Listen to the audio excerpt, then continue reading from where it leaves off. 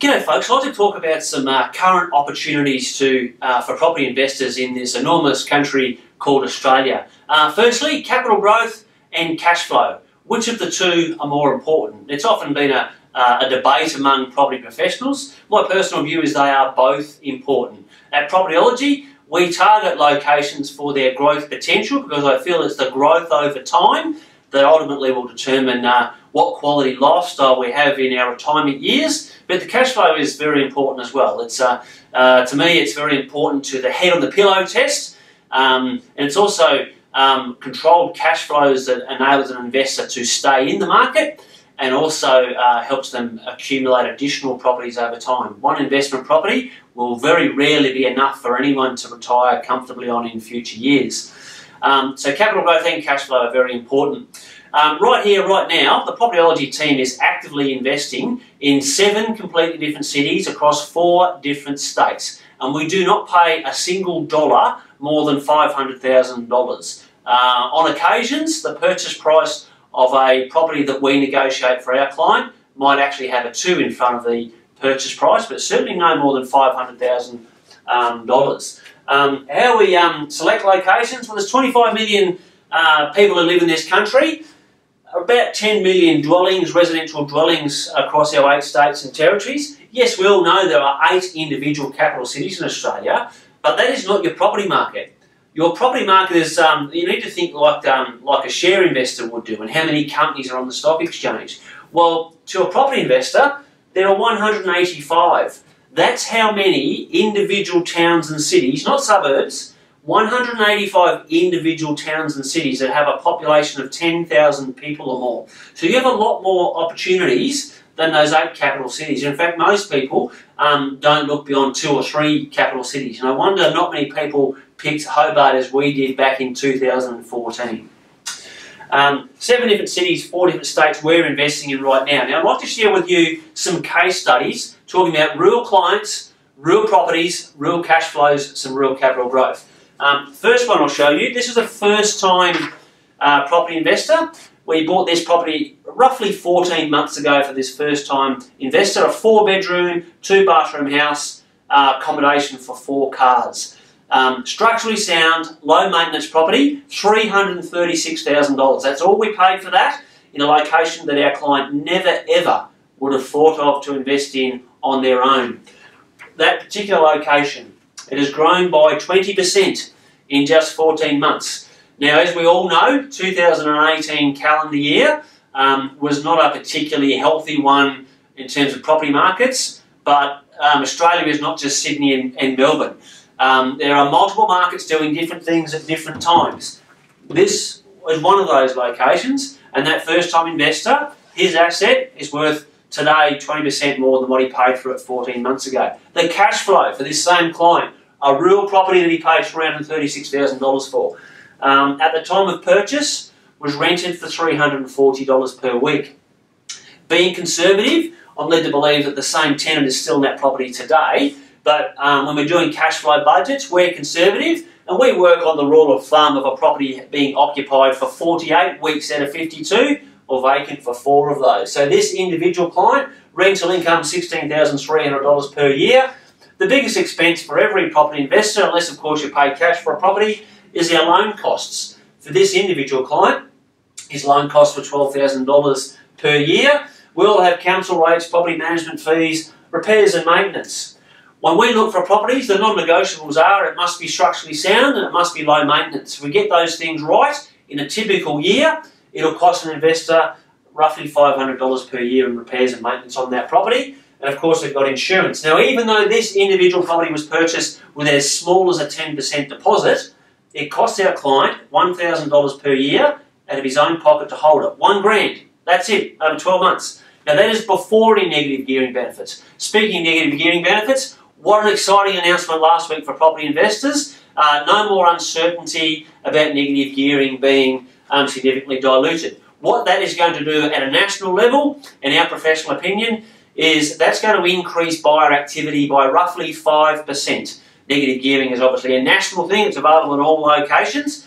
There would have undoubtedly been some um, otherwise willing property investors who sat on the fence waiting to see what happened with the federal election campaign. Now that that's over, I reckon there'll be an additional 5% um, buyer activity just from property investors because of the federal election campaign. During the federal election campaign, we also had the announcement of a first home buyer scheme wherein a first home buyer can purchase a property with as little as a 5% deposit and without paying mortgage insurance. Now, that is very important to property investors because that will mean that there'll be an increased volume of first home buyer activity. I believe that that one initiative will add an additional 5% buyer activity nationally. At the end of the day, it's buyer activity that creates competition within a market that creates price growth. Um, the other very exciting things, um, we had a trifecta last week for very exciting news for the property sector, and the third of those was APRA um, acknowledging that credit supply had, uh, had become ridiculously tight. Um, and they'd signalled uh, that they are going to relax that. In my opinion, they have still got uh, further um, relaxation to go with that, but to, to, actually admit and acknowledge they're going to uh, um, make some relaxation, I believe that's uh, the best news of all of those three things. And I think it's going to add about an extra 10% buyer activity from uh, credit supply uh, becoming better than what it was during 2018. So what am I telling you? There's three macro national announcements that individually are all going to add to buyer activity. They are all going to contribute to property price growth over and above what we saw in 2018. It's a really exciting time to get into property markets. Um, next case study I want to share with you. Again, a real property for a real client. This time, the real client, lovely couple, uh, they're financial planners. We really enjoyed working with those during 2018. This property is bought in a completely different city um, to the one I was talking about earlier. Three bedroom, one bathroom house, 987 square metre block with a massive man cave out the back. We only paid $337,000 for this property. It's got a rental yield of 5.4%, so it costs very little to purchase it. It will cost them nothing each year to hold the property. Rents will cover all expenses and have a, have a bit of a surplus. Why we chose this individual city um, was a combination of significant investment in infrastructure. It's a location that has a very diverse economy and there's a jobs boom uh, about to unfold. So um, we're very excited about that location. Next thing I'd like to talk to you, not so much about a property, but some work that we're doing um, with a client at the moment. They're actively working with their broker to get finance in place in preparation for investing. What they've already got is their family home with a reasonable amount of equity in it and a facility already in place, $200,000 um, equity that's been released with intention of using that $200,000 to invest in property. Now, rather than put all of that $200,000 into one expensive property, we've discussed with them the pros and cons of spreading that um, around into two more affordable properties, not having all your eggs in the one basket, taking advantage of two capital growth opportunities and having much stronger cash flows in doing that. Uh, we've given them some guidance about price points in two completely different cities that we'd love to help them invest in. One of those locations would have a maximum purchase budget of $370,000. Um, the other location in a completely different state, um, we would spend no more than $350,000. Um, now, this particular strategy for this client, I guess essentially they're financing 100% of the investments. Um, therefore, they're all 100% tax effective. They're using the equity in the property put in their family home, putting it to good use. And collectively, these two properties will cost them no more than $8,000 per year for two properties, two different cities. Um, combined asset values of about $320,000. Um, very safe way to invest, diversifying your capital and stronger cash flows. Um, before I talk about this last case study, uh, I mentioned some announcements that are going to add buyer activity into property markets nationally. Well, there's another announcement, or so, not so much an announcement at this stage, but a signalling, a very strong signalling. That's from the Reserve Bank. Just last week, um, they, they strongly signalled that they're going to reduce interest rates for the first time in nearly three years. And one economist, a gentleman by the name of Bill Evans, the senior economist for Westpac, he predicts that there could be as many as three interest rate reductions over the next seven months.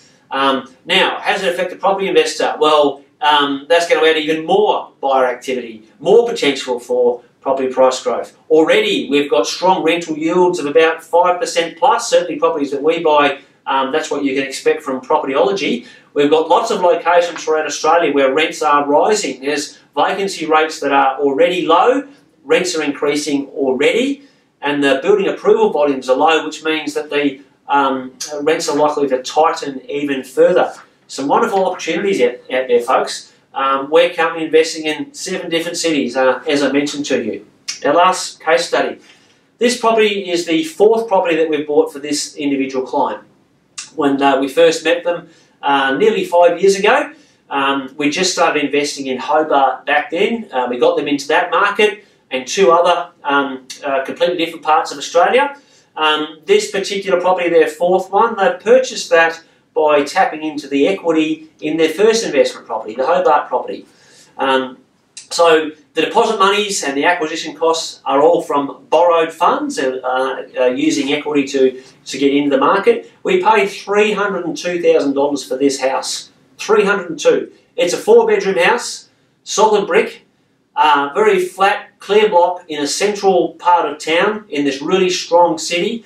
Um, very diverse economy. We are extremely excited about the outlook for its economy. It's the number one reason why we uh, um, chose to buy there. Um, so they've now got four properties in their portfolio. They are by no means high income earners. They are everyday Aussies with, uh, with a few kids, um, average incomes. They've now invested four properties in completely four different cities throughout this great country. Um, we love helping them each and every time. They've planted four seeds, so they are well on their way to, in future years, living a retirement lifestyle that will be significantly better than what their own parents would have lived because they've been responsible with their money and they've engaged expertise. We've done that for them, and we would love the opportunity to do it for you too. Uh, I cannot stress enough how exciting it is. Um, buyer activity is really what drives price growth, and if you cannot see from this presentation that there'll be a lot more buyers out in the market now than what we've seen for quite some time, I don't think you, you'll ever appreciate that. The most important information for property markets is the local conditions, the local economic drivers, the local levels of housing affordability, um, and the local housing supply. That's the stuff that we are all over. By understanding that, by looking at every location in Australia all day, every day, is how we discover the Hobarts of the country. It's how we discover locations like this. It's how we discover locations like that. And it's how we want to discover a location to help you invest in that location in the right property at the right price. Please give us a call on 1300 65 40 70, whether it's myself or any other member of this wonderfully talented team. We would love to get to know you, talk more about our services, educate you, earn your trust, earn your confidence, and help you invest. Love to talk to you soon.